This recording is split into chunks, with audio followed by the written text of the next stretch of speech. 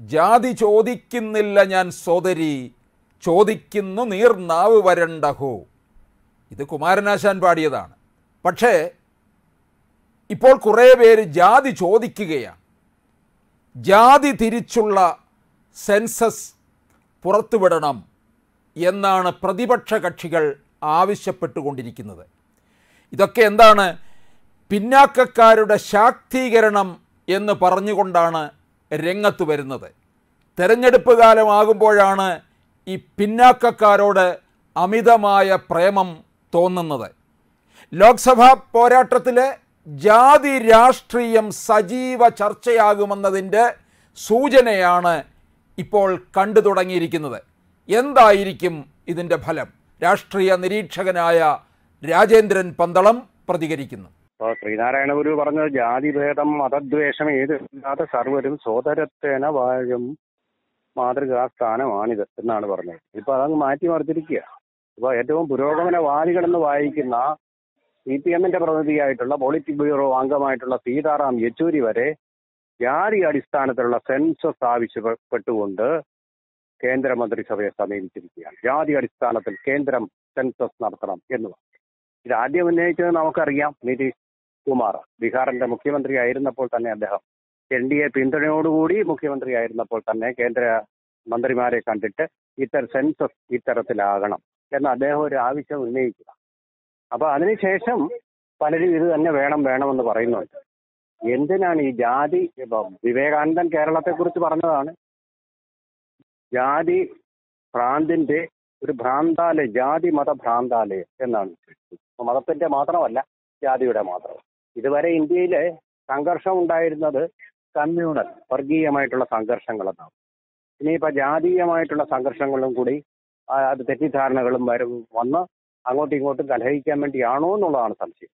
സംസ്ഥാനങ്ങൾ നേരത്തെ തന്നെ ജാതി സെൻസസ് എടുക്കുന്നുണ്ട്. അതിന്റെ അടിസ്ഥാനത്തിലാണ് ഈ പട്ടികജാതി പട്ടിക വർഗ വിഭാഗങ്ങൾക്കുള്ള സംവരണങ്ങളൊക്കെ കൊടുത്തുകൊണ്ടിരിക്കുന്നത്. അപ്പൊ കണക്ക് ആൾറെഡി ഉണ്ട്. ഇത് വളരെ സെൻസിറ്റീവ് ആയിട്ടുള്ള ഒരു വിഷയത്തിൽ സെൻസസ് നടത്തി കേന്ദ്രത്തിനെ വെട്ടിലാക്കുക. അപ്പൊ ഏത് വിധേനയും മോദി അടുത്ത തെരഞ്ഞെടുപ്പിൽ ജയിക്കാതിരിക്കുന്നതിന് വേണ്ടിയിട്ടുള്ള ഒരു തന്ത്രം ആവിഷ്കരിക്കുക എന്നുള്ളതിനപ്പുറം ഇവരുടെ ശരിക്കും ആദർശ ശുദ്ധിയോ അതുപോലെ അവരുടെ തത്വാധിഷ്ഠിതമായിട്ടുള്ള രാഷ്ട്രീയമോ ഒന്നും ഇതിനുമായിട്ട് യോജിച്ചു പോകുന്നില്ല. തത്വാധിഷ്ഠിത രാഷ്ട്രീയത്തിന്റെ ഭാഗമല്ല. പിന്നെ ഇതിനുള്ള ഒരു ലാഭം എന്ന് പറയുന്നത് ഈ സെൻസസ് ഈ രീതിയിൽ വരുമ്പോൾ സംഭവിക്കുന്നത് ഒരു മണ്ഡലത്തിൽ ഏറ്റവും കൂടുതൽ എത്ര പേരാണ്? അല്ലെങ്കിൽ ജാതി അടിസ്ഥാനത്തിൽ ഇന്ത്യയിൽ ഏറ്റവും കൂടുതൽ ഉള്ളത് ഏത് വിഭാഗമാണ്? അവരുടെ സ്ഥാനാർത്ഥികളെ കൂടുതൽ നിർത്തിക്കൊണ്ട് കൂടുതൽ വോട്ട് ബാങ്കുകൾ സൃഷ്ടിച്ച് വോട്ടുകൾ നേടാം എന്നുള്ള ഒരു ദുരുദ്ദേശം തന്നെയാണ്.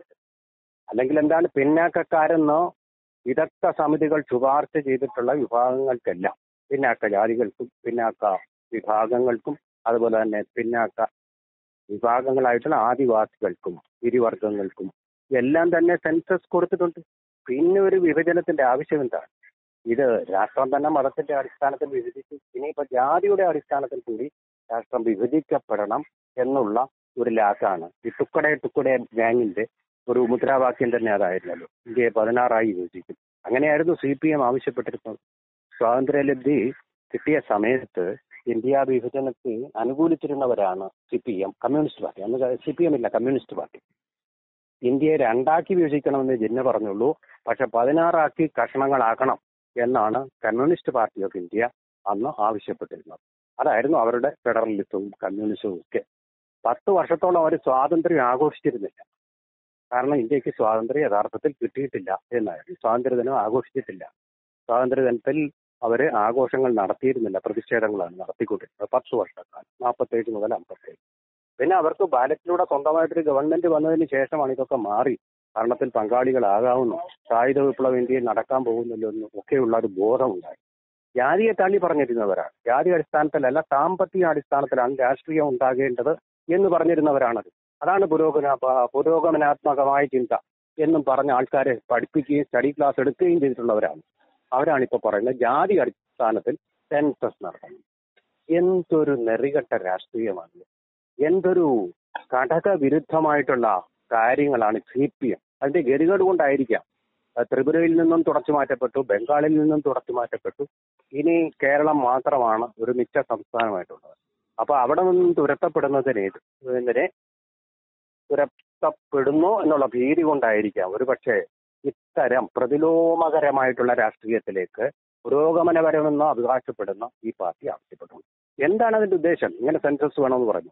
എന്താണ് അതിന്റെ പിന്നിലുള്ള ഉദ്ദേശം? ഇന്ത്യ ഒന്ന് ഇന്ത്യയുടെ ജനങ്ങൾ ഒന്ന് എന്നുള്ള കേന്ദ്ര ഗവൺമെന്റിന്റെ കാഴ്ചപ്പാടിന് എതിരാ തന്നെയാണിത്. ഇന്ത്യയുടെ കാഴ്ചപ്പാട് നാനാത്വത്തിലെ ഏകത്വം എന്ന് പറയുമ്പോൾ പല ജാതികളായിട്ട് വിഭജിച്ച് പല മതങ്ങളായിട്ട് വിഭജിച്ച് കണക്കെടുക്കുക എന്നല്ലല്ല. ഇന്നിപ്പോ ഏറ്റവും പ്രധാനപ്പെട്ട ഒരു ദിവസം കൂടാ. ഇന്ത്യ ചൈനയെ മറ മറികടന്നുകൊണ്ട് ലോകത്തിലെ ഏറ്റവും ജനസംഖ്യയുള്ള രാഷ്ട്രമായി മാറിയിരിക്കുന്ന സന്ദർഭമാണ്.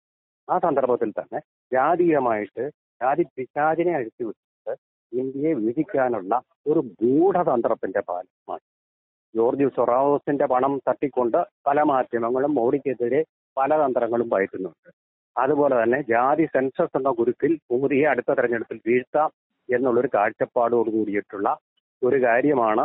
എന്നുള്ളതിൽ കഴിഞ്ഞ് ഇതിനൊരു രാഷ്ട്രീയ പ്രസക്തിയുമില്ല. ഇന്ത്യയെ ഇന്ത്യ വിരുദ്ധമായിട്ടുള്ള ഒരു മനോഭാവമാണ് ജാതീയമായിട്ടുള്ള സെൻസസ് വേണം. സാമ്പത്തിക അടിസ്ഥാനത്തിലുള്ള സെൻസസ് വേണം. ഓരോ കുടുംബത്തിന്റെയും വരുമാനത്തിന്റെ അവർക്ക് ഉള്ള തൊഴിലിന്റെ തൊഴിലില്ലായ്മയുടെ ഒക്കെ അടിസ്ഥാനത്തിലാണ് കേന്ദ്ര പദ്ധതികൾ ആവിഷ്കരിക്കപ്പെടേണ്ടത്.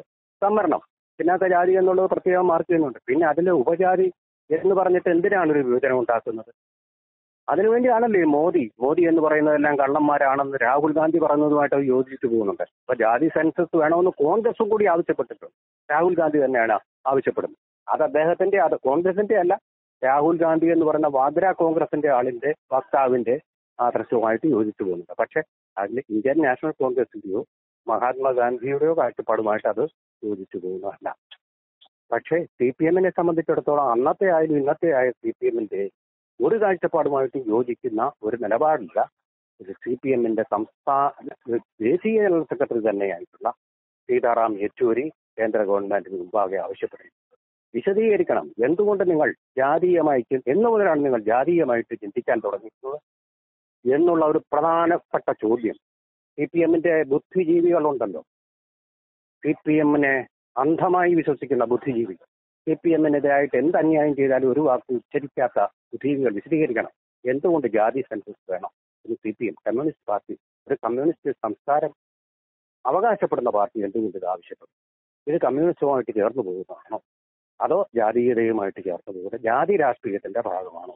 വ്യക്തമാക്കുന്നത് ജാതി രാഷ്ട്രീയം മതരാഷ്ട്രീയം അത് ഇങ്ങനെയൊക്കെയാണല്ലോ അവർ അപകടിച്ചുകൊണ്ട് കളിയാക്കിക്കൊണ്ട്. ഇപ്പൊ സ്വയം സ്വത്വ രാഷ്ട്രീയത്തിലേക്കും ജാതി രാഷ്ട്രീയത്തിലേക്കും സ്വയം മാറ്റപ്പെടുകയാണോ സി പി എം? എന്റെ ഗതികേടുമുണ്ട് എന്നുള്ള സുപ്രധാനമായിട്ടുള്ള ചോദ്യമാണ് ഇത് ഉയർത്തുന്നത്.